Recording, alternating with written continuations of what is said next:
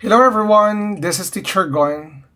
In today's video, we will talk about solving multi-step equations. This one is kind of difficult compared to our previous videos, like you can see it here. So without further ado, let's do this topic. So here are the first two examples for this tutorial video, and we will solve for each equation. Number one, we are given 5x minus 1 is equal to 3x plus 2. Now, as you can see, in this kind of equation, there's a variable on the left side of the equation, and there's a variable on the right side of the equation. The question is, where are we going to put the variable x? Normally, for us people who are solving math equations or equations, we're literally putting the variable x on the left side of the equation. So what must be done? We need to eliminate 3x here and we will put it here on the left side of the equation.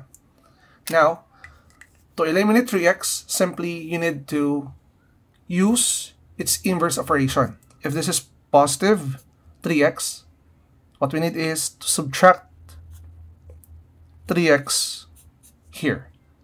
Siyempre, to make it balance, we also need to subtract 3x on the left side of the equation. 3x minus 3x is 0. This is 0.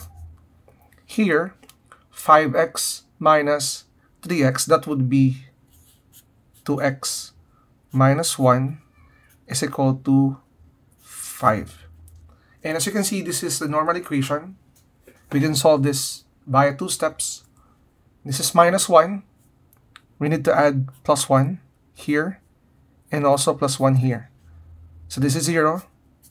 We have 2x is equal to 5 plus 1 which is equal to 6. Now, to finally solve for the value of x, divide both sides by 2, by 2. Cancel, cancel, your x is equal to 3. Now guys, if you want to check whether your answer is correct, you can do the checking by simply using the original equation and substitute the variable x which is 3. Now let's move on with item number 2. For number 2, we are given 2 times x minus 5 is equal to 5x plus 23. Now, the problem here is that we have a grouping symbol. So basically, we need to eliminate this by using distributive property. So we will multiply this. 2 times x, that would be 2x. This. 2 times negative 5, that is negative 10. Copy 5x plus 23. Now, we need to put all the variables here on the left side, but actually, we can also put the variables here on the left on the right side. But you again, as usual, we're doing it on the left side. So we need to eliminate this by subtracting both sides of the equation by 5, 5x rather, 0, 0, this is negative 3x, then minus 10 is equal to 23. Now, this is minus 10. We need to add both sides of the equation by 10 to eliminate negative 10. This is 0, cancel. We have negative 3x is equal to 23 plus 10.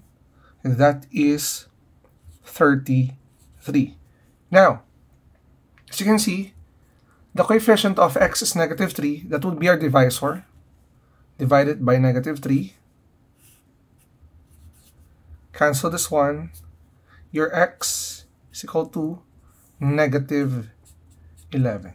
So, at first glance, it seems like our equation is difficult, but using the properties of equality, we can definitely solve this equation. Now let's go with item number 3. For number 3, this is our equation. 3 times y plus 2 plus y is equal to negative 14. So this will be simplified by distributive property. 3 times y, that is 3y. Then 3 times 2, that is plus 6.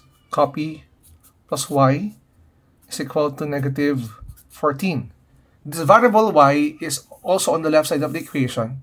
So basically, we can combine these two terms. That is 3y plus 1y.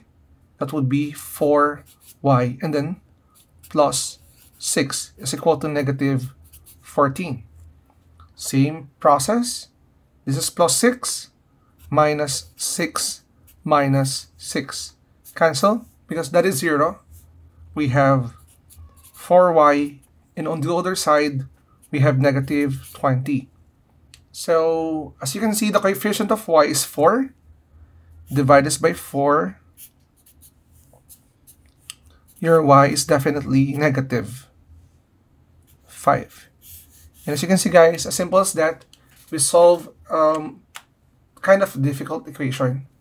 But still, we are done with the variable y. So guys, I hope you learned something from this video on how to solve multi-step equations.